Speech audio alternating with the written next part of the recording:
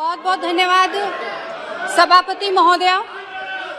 महोदया, आज हमें नियम 377 के तहत अपनी बात को रखने का आपने मौका दिया, इसलिए आपको धन्यवाद।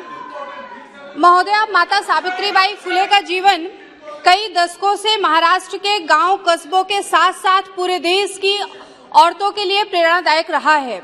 उनकी जीवनी एक औरत के जीवट और मनोबल को समर्पित है।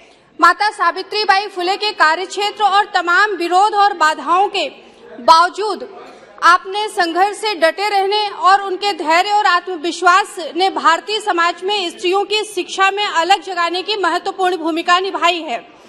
वे प्रतिभाशाली कवित्री, आदर्श अध्यापिका, निस्वार्थ समाज सेविका और सत्य शोधक समाज की कुशल नेतृत्व करने वाली महान नेता थी।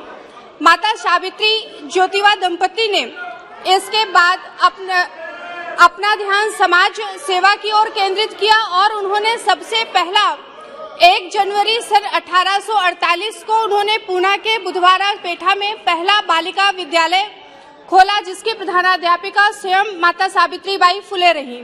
महोदया, में आपके माध्यम से बालिकाओं में शिक्षा की ज्योति जलाने वाली माता सावित्री बाई फुले जी की जयंती तीन जनवरी को महिला शिक्षक दिवस के रूप में मनाया जाए, इसकी सरकार से मांग करती हूँ। बहुत बहुत धन्यवाद।